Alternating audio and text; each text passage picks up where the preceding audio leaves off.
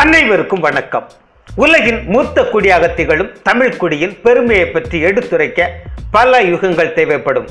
அப்படி அனைத்து தமிழர்களும் பெருமைப்படும் அளவிற்கு தனது துறையான ஐஎஸ்ஆர்ஓவில் பணியாற்றி கடின உழைப்பின் மூலமாக சாதித்து இப்போது ஐஎஸ்ஆர்ஓ அமைப்பின் தலைவராகவும் உருவெடுத்திருக்கிறார் திரு சிவன் அவர்கள்.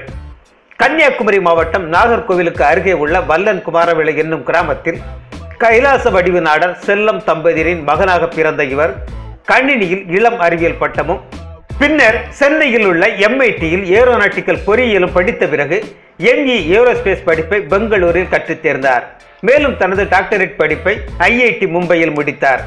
தற்போது விக்ரம் சாராபாய் ஸ்பேஸ் சென்டரின் இயக்குநராக இருக்கும் இவர் ராக்கெட் ஸ்பெஷலிஸ்ட் என அழைக்கப்படுபவர். இது மட்டுமல்லாமல் குறைந்த டெம்பரேச்சரில் லிக்விஃபைட் கேஸ்கள் மூலம் இயங்கும் கிரையோஜெனிக் என்ஜின்களை அறிமுகப்படுத்தி அதன் வளர்ச்சிக்கும் வித்திட்டுள்ளார் என்பது குறிப்பிடத்தக்கது.